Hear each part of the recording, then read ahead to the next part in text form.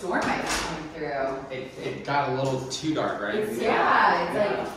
I can see like the overcast. You, you get to experience it to in a tornado. There you this go. probably the best view I've seen. Yeah, hands down.